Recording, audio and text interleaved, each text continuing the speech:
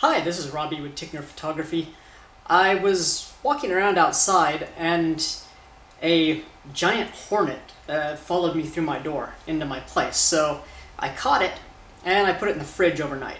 So now I'm going to try and photograph it, get a giant bug head. The hornet is still alive, so hopefully it, uh, the cold will slow it down enough where it won't want to move, but it'll sit there and pose for us. I have my 100mm macro lens and then my three levels of extension tube. So 69 millimeters of extension tube on 100mm macro should get us quite a bit greater than 1 to 1, so almost 1 to 2 magnification. So hopefully we can get this insect head quite large. Because we're doing ultra macro, our depth of field is going to be minuscule, so we'll have to focus stack. So once we get a shot that we like, we'll try and get maybe 10 exposures, just moving ever so slightly closer, and then we'll merge them together in Photoshop and hopefully get something really cool.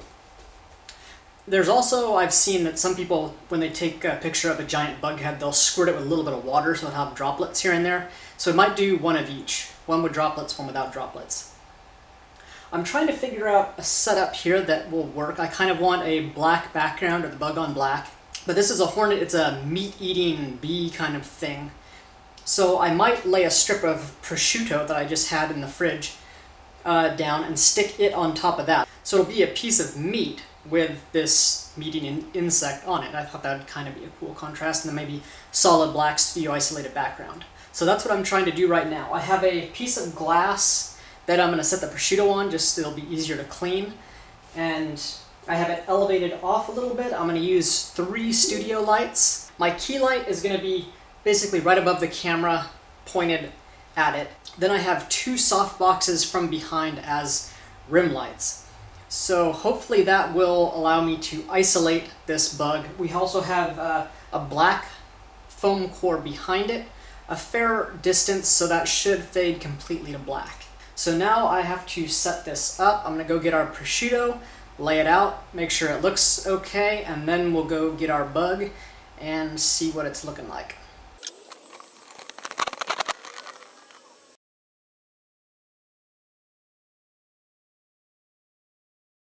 So now we have our prosciutto laid out, and now for our bug. Alright, so now we have an insect on there. Let's see if we can show you. So for reference, that's how big it is. It's a really small bug. Uh, we're also using the Sony Alpha A77 for reference. So let's take a couple shots and see what it's looking like. Ooh, that's gonna be, that's gonna be cool.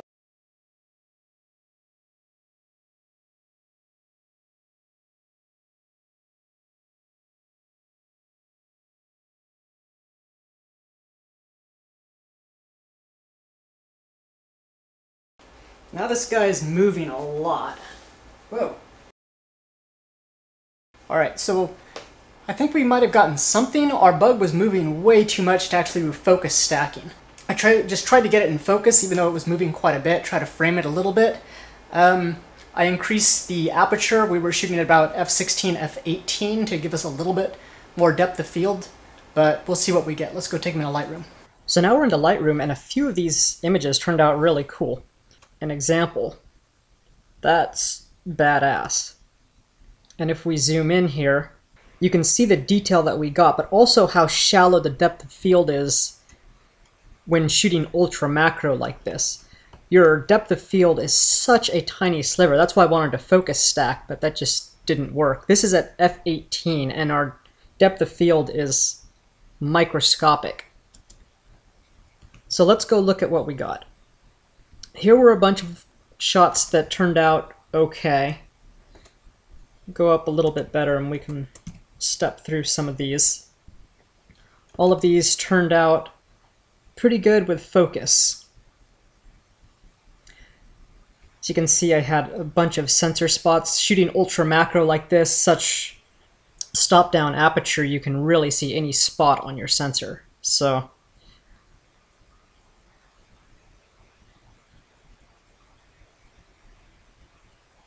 So it's probably a good idea to clean some of these beforehand. but And here were my favorite shots from this hornet.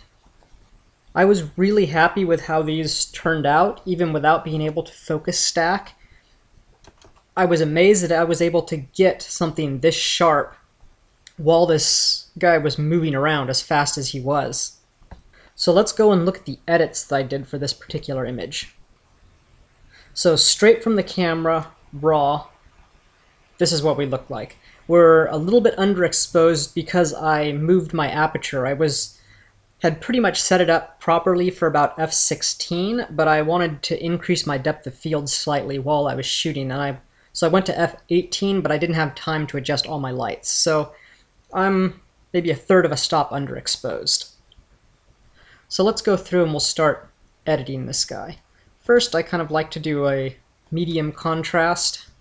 Really changes things up quite a bit. And we'll move up third of a stop. Yeah, that's looking better. And like some contrast, but not a whole ton. And we're gonna brighten things up a lot. That's looking okay, shadows a ton. And it lights up.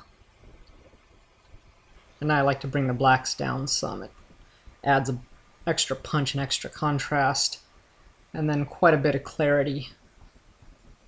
This will increase the um, mid-tone contrast, but now we're really yellow, which is actually how this guy looks, but it it's just a little bit too yellow for me, so I'm going to pull back on the white balance.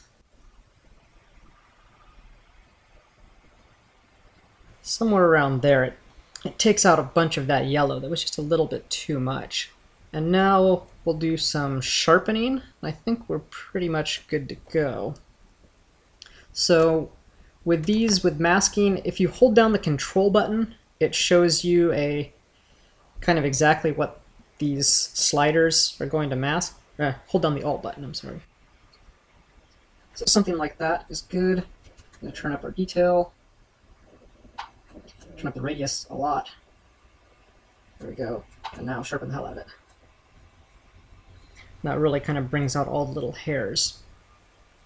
So now we're pretty much done with this image, except I have to clean up all of our sensor spots, which is easy enough with our spot healing brush, which is a shortcut key on keyboard. And I think I got all of those, turn it off. And there we are, that's a final image that looks pretty good. Go before after. So yeah, I'm happy with this. I would have liked to do a straight head-on focus stack so you can see the entire antenna through the end of the head completely in focus. And I might still be able to do that one of these days if I can figure out how to get this guy to stand still or I can find a dead version of this same insect. So I hope you found this somewhat useful. If you have any questions or comments, please leave them below. Otherwise, like and subscribe. Also in the description, I'll put a link to this particular image that goes to my 500px version of it if you want to go over there and vote or favorite it or something. Thanks. Bye.